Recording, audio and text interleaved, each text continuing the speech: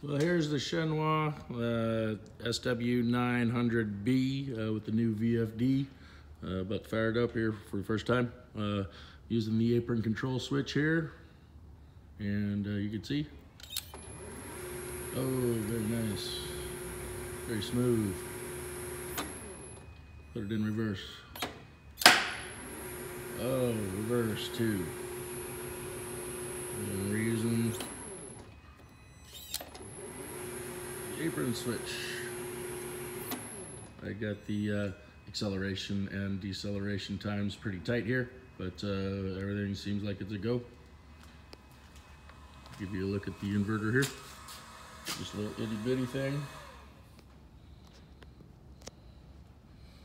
Real simple to wire in. And I found a uh, marathon motor here. See if I can get you in there.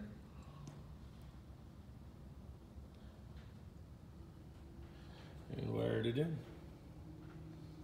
It's ready to go. Running off of uh, 220 single phase. Uh, it's a single phase to three phase output on the uh, little VFD. More to come. Thanks for watching.